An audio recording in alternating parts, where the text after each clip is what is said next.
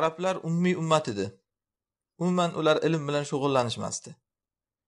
Ya'ni shuning uchun mana qadimdan rasululloh sollallohu alayhi vasallam bashorat berilganda o'tgan kitob ahlilariga ummiy payg'ambar deb bashorat berilgan.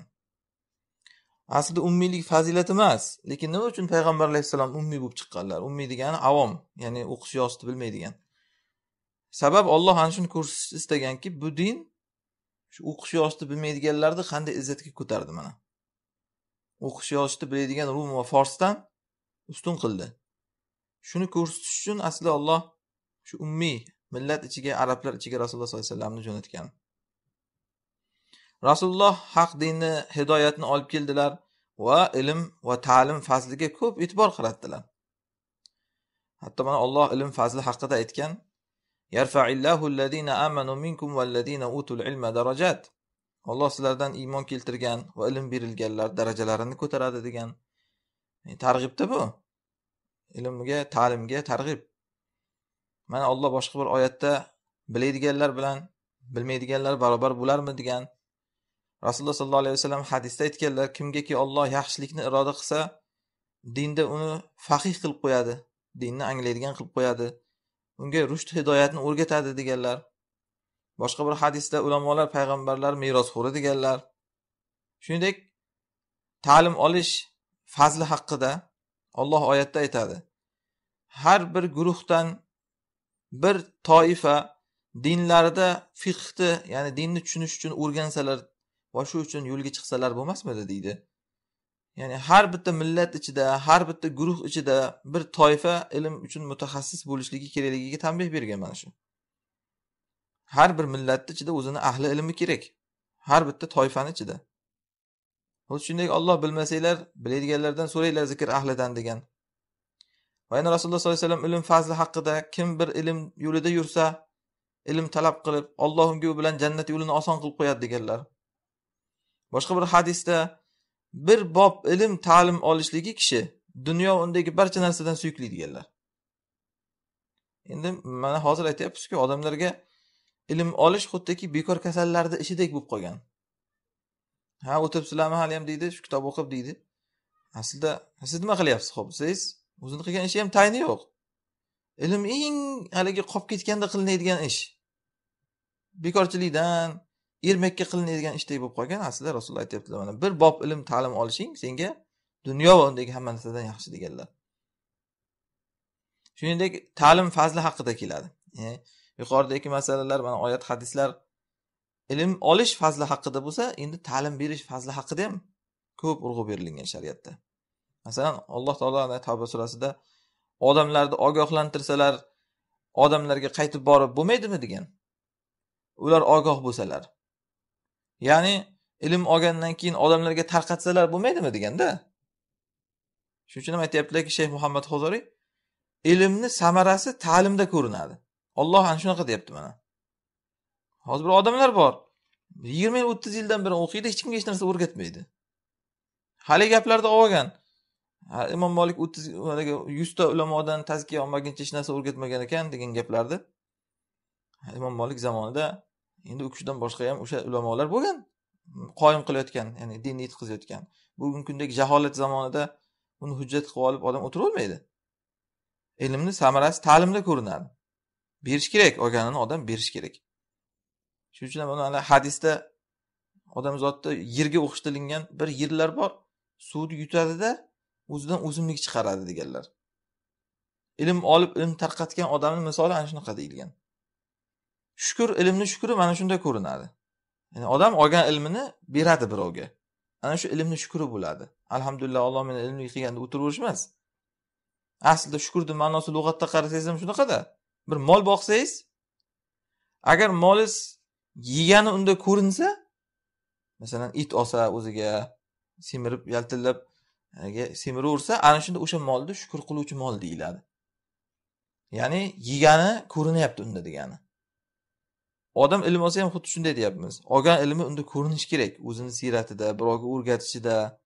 Ana shunda odam ilm olgan bo'ladi. Bo'lmasam ilm ilm emas u odamda ko'rinmasa agar. Ilmni samarasi ta'limda deyapti mana.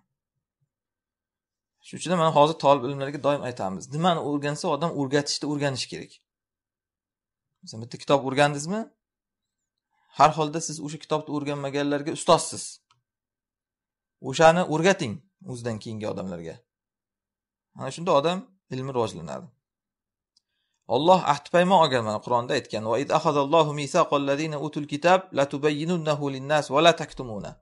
olloh kitob berilganlardan ahd paymon olgan odamlarga bayon qilasizlar berkitmaysizlar deb. O'rgatasan degan va yana rasululloh sollallohu alayhi vasallam moz ibn jabalga aytganlar u kishini muallim qilib yaman ahliga jo'natib turib aytganlar sen sabab olloh bitta kishini hidoyat qilishligi senga dunyo undagi hamma narsadan yaxshi deganlar. Bitta odam sizni deb bir to'g'ri yo'lga kirib qolsa. Va yana shunday aytganlar ni'mal atiyatu va ni'mal hadiyatu kalimatun hikmatun kalimatu hikmatin tasma'uha fatatwi alayha thumma tahmiluha ila akhin lak muslim tuallimuhu iyyaha ta'dilu ibadata sana bu hadis zaif degan ba'zi ulamolar lekin ilm fazlda rivoyat qilinadi baribir. Qanday yaxshi bir sovg'a qanday yaxshi bir hadya bir hikmatli kalimani eshitib qolsangizda uni o'ziz qalbingizga o'rab ya'ni qalbingizga jo qilib so'ngra bir musulmon birodaringizga olib borsangizda unga o'rgatsangiz shuni. Bu bir yillik ibodatga teng deyilgan. Bitta hikmatli gapni bunday eshitib qolasizda qalbingizga jo qilib o'raysiz. Ya'ni haligi hozirgi kundagidek mana telefondan kelib qolsa barmoqni uchi bilan likkitib olib bundan olib unga otib yuboravermaysiz quruq. O'ziz ham qalbingizga o'raysiz uni. O'ziz qalbingizga jo qilasizda keyin borib bir birodaringizga yetkazasiz ana o'shani. O'rgatasiz. Ana shu bir yillik ibodatga teng deganlar. Nafl ibodatga ya'ni. Mana shu uchun mana hozir mana shunaqa narsalarga asos solish kerak. Mana bugun shunaqa narsani chiqardiku ulamolar so'zlaridan bir hikmatli hikmatli gaplar. Odamlarni qarasak uzun uzun darslarni eshitmayapti ko'p odamlar. Va u uzun uzun yozuvlarni ham o'qishmayapti. Odamlarga shu bir qatordan oshiq narsa og'irlik qilib qolgan hozir. Xususan mana shuning uchun mana bir suratlar ko'rinishida qisqa qisqa bir video roliklar ko'rinishida odamlarga ana shunaqangi bir hikmatli gaplarni tarqatish kerak odamlarni saviyasini ko'tarish kerak. Mana bugungi kunda shunaqangi bir gaplarni olib olib rasm qilib profilga qo'yib olish post qilib qo'yib olish urf bo'ldi. O'shanaqangi holatlarda kim qayerdagi bir narsalarni ko'tarib yurmasdan mana shunaqa gaplarni bir biriga tarqatish kerak odam. Bir yillik ibodat ajriga teng deyilyapti mana kishiga. Vaqola yana rasululloh sollallohu alayhi vasallam ilm fazli haqida ta'lim berish fazli haqida hadisda aytganlar. Olloh men bilan jo'natgan hidoyat ilmni misoli yomg'irga o'xshaydi deganlar. Ko'p yomg'ir. Ilm yomg'ir odam yer. Odamni ustiga ilm yog'adi yerni ustiga yomg'ir yog'gandek bu yomg'ir bir yerlarga yetadi. Bir chuqur yerlar. Suvni qabul qilib oladida o'ziga. Unumdor yer. Va o't o'lanlar o'stiradi ko'p o'zidan. Masalan qirlar adirlar yam yashil bo'lib yomg'irdan keyin gullab yashnab ketadiku. Ana shu bir toifa yer shunaqa bo'ladi deyaptilar. O'zi o'zidan suvni shimib olib o'simliklar o'stiradi. Endi bu kimni misoli bo'lyapti hozir? Ilm olib ilm tarqatgan odamni misoli. Xuddiki suvni shimib keyin ustidan o't o'stirgan yerga o'xshatilinyapti mana. Endi subhanalloh deysiz qarang. Bu odamzod yerdan yaratilgani uchun yerdan odamzod jasadi o'sganligi uchun odamzod nabotot deb biz ko'p tafsir darslarida aytyapmizku. Ana shu uchun qarang rostdan unumdor yerlarda unumdor yerlar yani haqiqiy yerlarda aytyapman. Unumdor ulamolar ko'p chiqqan. Masalan buxoriy muslim termiziy abu dovud nasoiy ibn moja hammasi unumdor yerlardan chiqqan. Biz tomondagi mana yerlarni qarasangiz mana o'zimizda moron nahr o'lkalari iroq yerlari e, savodil iroq deyilinardi o'tdiku qop qora bo'lib yam yashil bo'lib o'tlar o'sadigan yerlar yerlar unumdor yerlar. Ana shu uchun shu yerda qarasangiz unumdor ulamolar ana shu yerdan chiqqan hammasi. Ibn xoldin rahmaulloh aytganlar buni. E, muqaddima kitobida tarixni o'qing biz arablarni yerga urib o'zimizni ko'tar ko'tar qilish uchun aytayotganimiz yo'q buni. Lekin e, umuman olganda voqelik shu. Ulamolar arablardan chiqmagan deyarli bor to'g'ri kam lekin. Ulamolar ajamlardan chiqqan. Ana shu unumdor yerlardan chiqqan. Chunki mana shu yerdan haligi suvni qabul qilib ustidan o'simlik o'stirishligiga bog'liq ekanda odamzod ham o'sha yerdan o'sgan. O'sha uchun ilmni olib ilmni tarqatishda ajamlar ko'p ishtirok etgan. Masalan lug'a arabiya olimi nahu ilmini olimi sibovay ajam bo'lgan. U dunyoviy fanlarda ham ulamolar qarasangiz mana bizdan beruniylar xorazmiylar hammasi ajam bo'lgan. Tabobatda ibn sinolar faylasuflar deysizmi? Hammasi ajam bo'lgan. Aksari arablarda unaqangi ko'p ulamolar ajamlardagidek ya'ni dinga xizmat qilgan ulamolar chiqmagan. Lekin to'g'ri arablashib ketgan borib borib ular ham. Lekin asli ajam bo'lgan ularni ko'pchiligi ulamolarni nima uchun desangiz qarasangiz chunki ana shunaqa yerlarda rostdan tuprog'ini ham unumdor tuproq shuning uchun ulardan chiqayotgan ulamolarni ham qarasangiz unumdor ulamolar. Mana shu hadisni bir misolida bir yerlar borki deyaptilar. U shunday o'ziga suvni shim oladida yam yashil o'simliklarni o'stiradi ustida deyaptilar. Va endi bir yerlar borki u shunday bir buqa ya'ni bir chuqur joylar suvni ushlab turadi shunchaki. Shimib o'ziga ustidan o'simlik o'stirmaydi. Shunchaki suvni haligi tog'ora tarzida ushlab turadi. Ya'ni haligi toshliq yerlar deganida betonlik yerlar. Mana masalan e, arab davlatlarini qarasangiz aksarini yeri mana shunaqa. Suv yomg'ir yog'sa shimimaydi yer. Oylab yotaveradi to bug'lanib ketmaguncha. Yer suvni shimmaydi quruq ushlab turadi ustida o'simlik ham o'stirmaydi. Bir yerlar borki ana shunaqa deyaptilar. Ustida suvni ushlab turadi shimimaydi ha lekin to'g'ri o'shandan baribir odamlar foydalanadi. Alloh azza jalla odamlarni shu bilan foydalantiradi deyaptilar. Odamlar ya'ni undan to'dalanib qolgan suvlardan ichadi hayvonlarini sug'oradi ekinlarini sug'orishadi. Bu kimni misoli bo'lyapti endi bu? Ilm olib olganda lekin uni bir o'zi amal qilmaydigan odamni misoli bu. Odamlarga tarqatib yotibdi robotga o'xshab aytib beradi masalan unday bo'ladi bunday bo'ladi oyat hadislarni aytib beradi lekin o'ziga singdirmagan ilmni. Bu mana shuni misoli. Ilmni yuzaki olgan ya'ni amal qilmaydi o'zi. Shimimaydi qalbiga. Og'zida quruq haligi havorijlarni sifatida rasululloh aytganlaridek kekirdakdan nariga o'tmaydi o'qigan qur'oni deganlar. Bir odamlar bor ana shunaqa. Qalbiga singdirmaydi ilmni. Quruq odamlarga tarqatib beradi. Hozirgi kundagi mana ashara qiroat sohiblari deysizmi? O'zlariga sihoh sittalarni yodlab olganlar bor. Ha mayli fazilat. Biz uni bir kofir munofiq demoqchi emasmiz hammasini ularni lekin aksar ana shunga o'xshaydi ularni. Ashara qiroatni odamlarga o'qib beradi sihoh sittani boshidan oxirigacha aytib beradi. Lekin o'zida qarasangiz singdirmagan dinni g'ami yo'q yoki odamlarga odamlarni isloh qiladigan ilmni o'rgatmaydi. Quruq magnitofon tarzida yetkazib beradi odamlarga. Mana shu toshliq yer misolidagi odamlar. O'shanda bilasizki ha demak bularni tuprog'i o'shanaqangi bir toshliq yerdan olingan ekan deysiz. O'ziga singdirmaydi. Magnitofondek birovga yetkazib beradi faqat. Endi uchinchi bir yer bor deganlar. Bir yerlar borki qiyon qiyon degani tekis yer. Haligi bir yana qiya yer degan ma'nosi ham bor uni. Qiya deydiyu o'zimizda ham. Qiyon shunga o'xshaydi yana. Qiya yer. Qiya degani haligi bir pastlikka qarab ketgan. Na suvni ushlab turmaydi ustida na bir o'simlikni o'stirmaydi. Masalan haligi ba'zi davlatlarda yerlarda qarasangiz tekis tekis yer topmaysiz. Hamma yoq past balandlik hech bir suv yomg'ir yog'sa suv turmaydi bir joyda suvlanib oqib ketaveradi tinmay. Na o'zi shimmaydi na bir ushlab turmaydi. Oqib ketaveradi tushgan tushganlik suvlar. Balandliklar ya'ni ba'zi odamlarga qarasangiz ana shunaqa na o'zi ilm olib amal qilmaydi na bir birovga o'rgatmaydi. Bu quloqdan kirib bu quloqdan chiqib ketaveradi. Boshqa bir hadisda bularni haligi varankaga o'xshatilganku. Varankaga. Mana varankani qarasangiz bir bankaga tiqasiz yoki bir kanistrga mana varanka tiqasizda ustidan suv suv solasiz benzin solasiz varillab oqib pastga o'tib ketaveradi bir tomchi ushlab qolmaydi o'zida varanka. Bir tomchi ushlab qolmaydi varillab pastga o'tkazib yuboradi hammasini. Bu yoqdan kiradi bu yoqdan chiqadi. Ba'zi odamlar bor ana shunaqa. Ilm ilm u qulog'idan kiradi bu qulog'idan chiqib ketaveradi. Turmaydi umuman varankadek bir odamlarni ana shunga o'xshatyaptilar subhanalloh deysiz odamzod yerdan yaratilingandan keyin shu yerda nima bo'lsa shu odamzodda ham shu bor ekanda.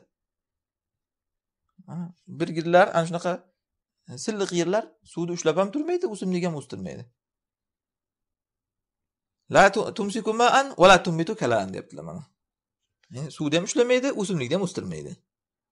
Mana shu birinchisi ilmdan manfaatlangan kishining misoli deyaptilar. Haligi suvni shimib o'simlik o'stirdi dedilarku unumdor odam.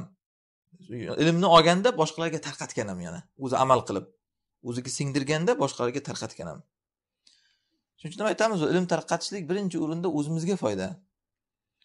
Kimlardir aytadida hozir masalan kimlardir emas shayton aytadi aslida qulog'imizga kelib vasvas qiladi.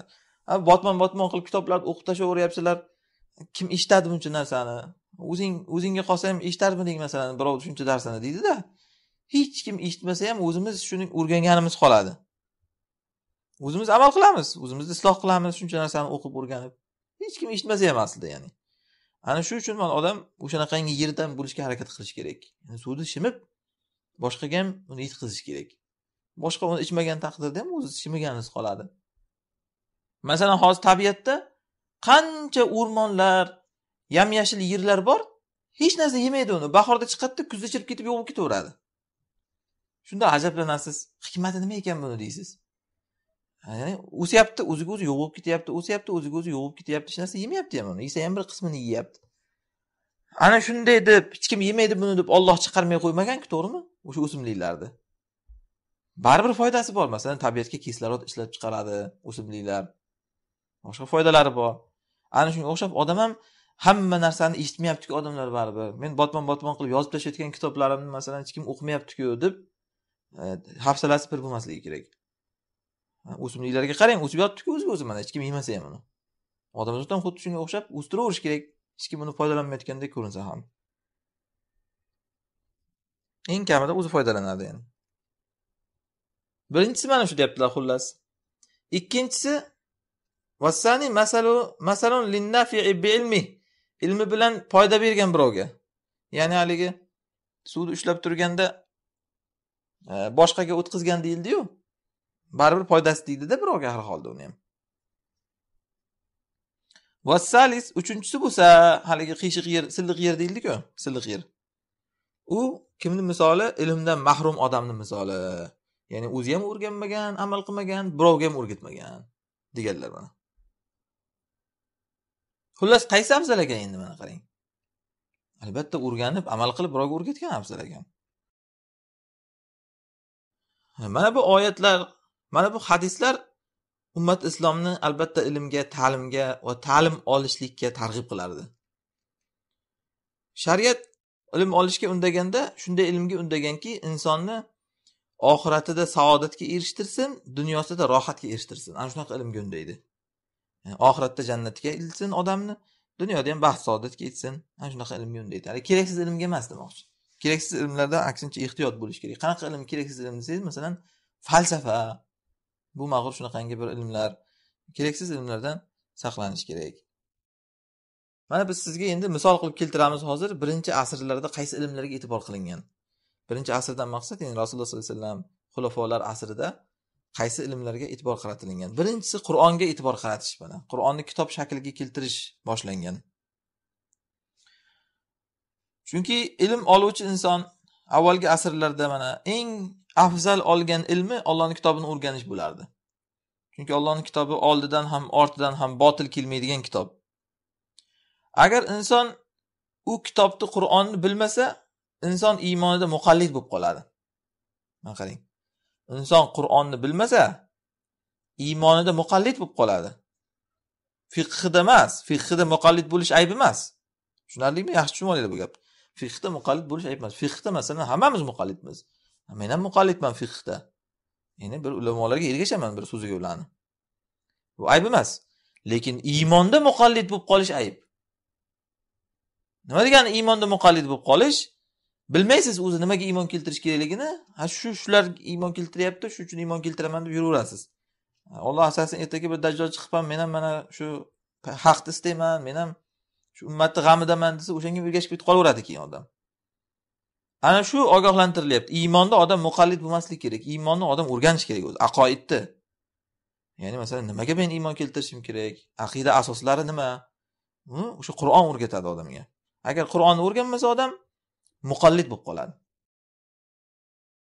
Qur'onni o'rganishda maqsad ham bu yerda tajvidini o'rganish emas. Qur'onni o'rganishda maqsad uni ahkomlarini ichidan masalan aqoidlarni o'rganish mana tafsir darslarida o'tyapmiz qarang. Makkiy suralarni o'rganing tafsirini sizga hayotdan maqsadni o'rgatadi. Nimaga dunyoga keldingiz nima qilishingiz kerak qayerga ketasiz ana shu narsalarni o'rganishni aytyaptilar. Va bu narsa noqislikdir. Ya'ni musulmon kishiga yaramaydi. Inson iymonida muqallid bo'lib qolishligi musulmonga yaramaydi. Bir nuqson bu. Biz uni ta'lim olish deganda uni zohir qolipdan yodlab olishlikni nazarda tutmayapmiz deyaptilar mana qarang. Ya'ni qur'onni ta'lim olish degani yuqorida aytilganidek uni tajvidini o'rganib olib shaqirlatib o'qib berish degani emas. Bu narsani nazarda tutmayapmiz biz deydi. Zohir qolib degani yoddan aytib berish. Chunki bu ko'p odamlarga muyassar ham emas ummatni shaxslariga.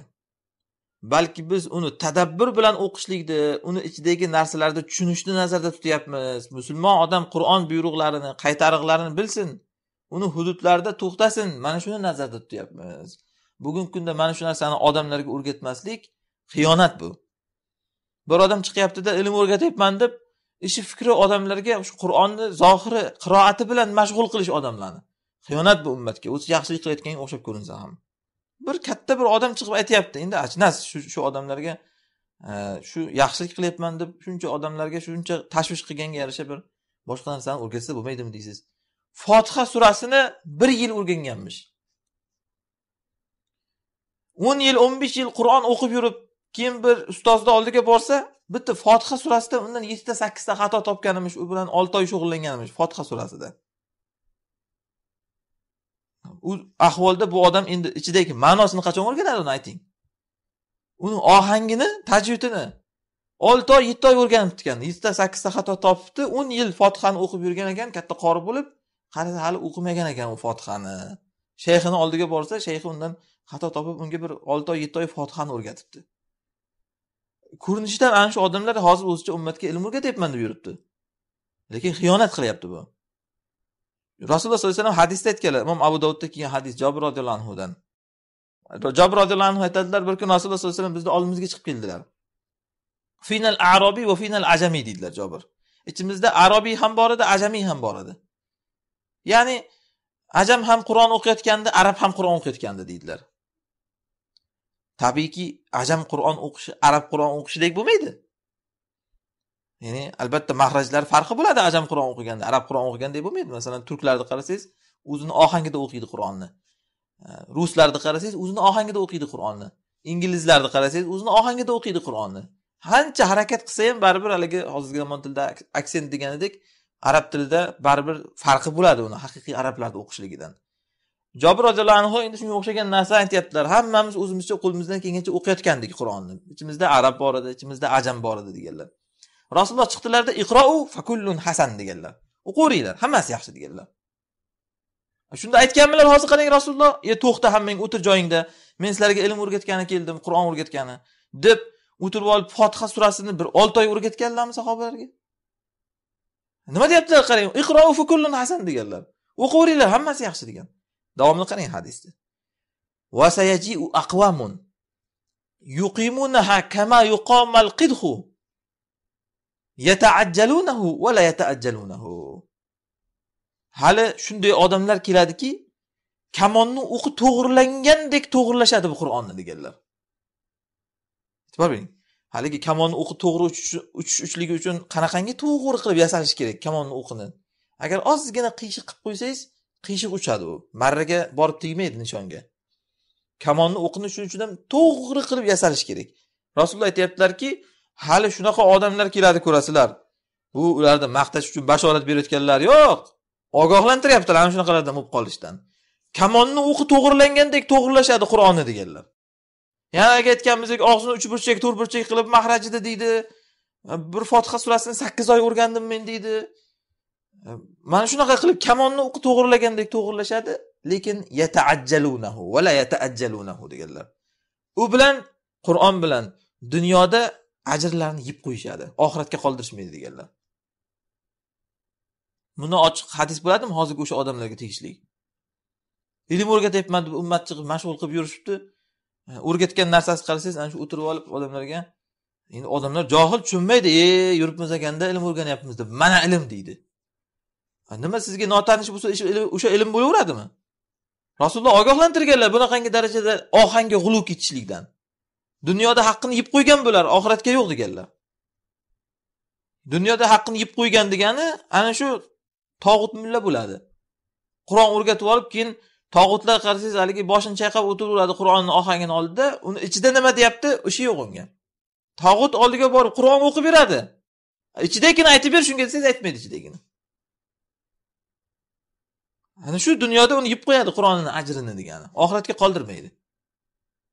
Kamonni o'qib to'g'irlagandek tajvidini to'g'irlaydi hozir masalan men qur'on o'qib bersam ustimdan kuladi ehtimol o'shalar. Uni ahvolini qara deydi. Men aslida bilaman tajvid bilan o'qiyman men ham lekin baribir aytyapman ularni tajvidini oldida haligi rasululloh aytganlaridek tahqiruna qiroatakum ma qiroatihim deganlar. Ularni qiroatini oldida shunday o'zingni qiroatingni haqiqiy sanab qolasan deganlar. Lekin la yujavizu qiroatuhum hanajirahum qiroatlari bo'g'zidan nariga o'tmaydi. Subhanalloh shunaqangi ta'bir qilganlarki rasululloh shu odamlarni ko'rganlar deb o'ylaysiz hozirgi kunda. Bo'g'izdan nariga o'tmaydigan mana shu ay ay qilib haligi aynlarni chiqarib og'zini uchburchak to'rtburchak qilishdan nariga o'tmaydi qur'on. Mahrajdan nariga o'tmaydi degani. La yujavizu qiroatuhum hanajirahum. Tajvid ilmida eng ko'p urg'u berilayotgan narsa ana shu hanjar. Hanjara. Mana qachon qarasangiz ana shu halqum bo'g'iz boshqa qashqa uch burchak to'rt burchak og'izni qilasan bunday biz buni harom deyotganimiz yo'q tajvid ilmini. Lekin maqsad qolib ketib qur'ondan ma'no qolib ketib ilm desa ana shuni tushunib yigirma yildan beri qiroat o'rganib yuradigan odamlarni nazarda tutyapmiz. Bizni ummatga hozir shu kerakmi? Xosatan bizni millatga arablarga bo'lsa mayli arablarga kerak. Arablarda chunki hamma sohada ulamolar tiqilib yotibdi lekin bizni millatga hozir shu kerakmi? Odamlarni yigirma yil qur'on bilan mashg'ul qilib o'tirish bitta fotiha surasini ohangi bilan olti oy odamlarni mashg'ul qilib o'tirish keyin shuni ortidan bular haligi kibrli mullachalar bo'lib qoladi bular. Ularga haqni aytsangiz tan olmaydi odamlar o'shalarga ergashib keyin o'zicha siz bir narsa desangiz ey mana odam deydi ashara qiroatdan dars beradi palonchadan dars beradi deb tan olmaydi keyin haqni odamlar. Odamlar tushunmaydi. Ana shunaqa qilib dunyoda haqqini yeb qo'yadi deganlar oxiratga qoldirishmaydi.